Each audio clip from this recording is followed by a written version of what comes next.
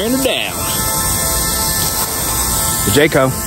It's been another Leonard Experience production. This particular RV park allows us to uh, wash our RV right on site. So that's what we are doing. This is Jay, over and out.